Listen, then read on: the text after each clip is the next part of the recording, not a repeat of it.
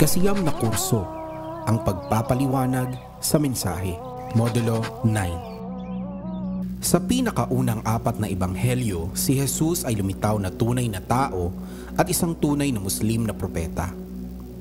Sa huling ebanghelyo, gayon paman, siya ay lumitaw na mas higit na banal at mas higit na isang kilalang Kristiyano.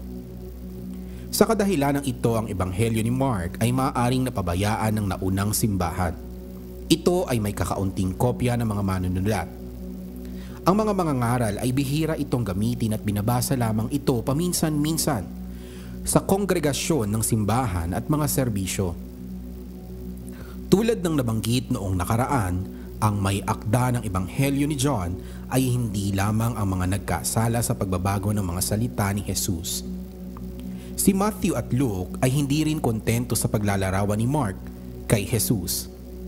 Itinakda upang palakihin ang posisyon ni Jesus sa maraming pamamaraan.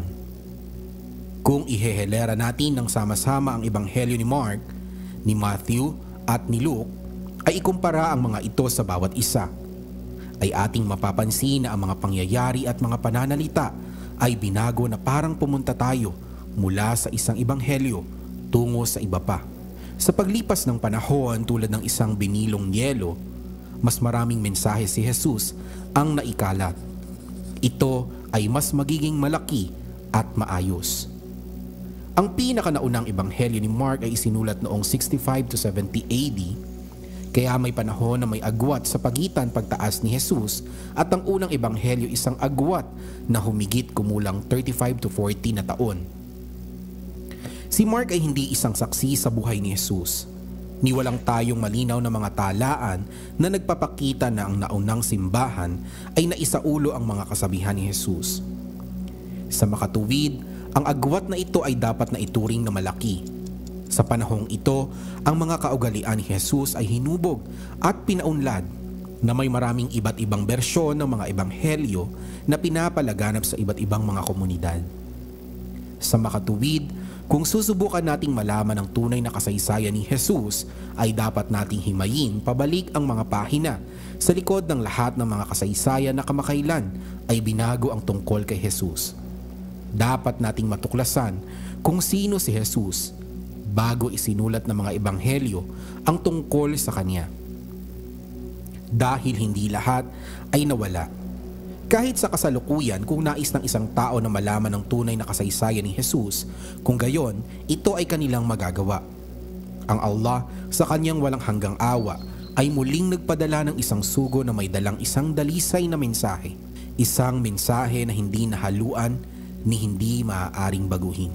Sa huling mensaheng ito ay sinabi sa atin ng Allah na si Jesus ay isang tao at isang makapangyarihang sugo ng kaniyang ipinadala. Na si Jesus ay nagsagawa ng mga himala sa pahintulot ng Allah. Na siya ay isinilang ng isang birhen at na siya ay muling magbabalik sa katapusan ng panahon.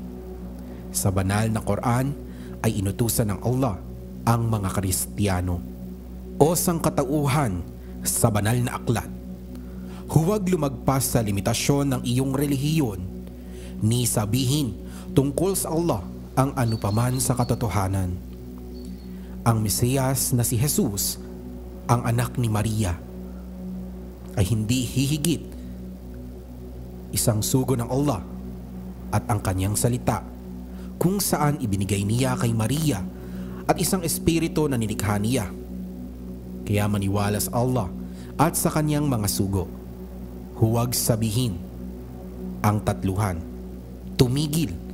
Ito ang makabubuti para sa iyo dahil ang Allah ay nag-iisang Panginoon. Purihin siya. Siya ay higit na kataas-taasan nang higit sa lahat ng mayroong isang anak. Sa kanya nabibilang ang lahat ng mga nasa kalangitan at ang lahat ng nasa sandaigdigan. At ang Allah ay lahat sapat bilang isang nagbibigay ng mga gawain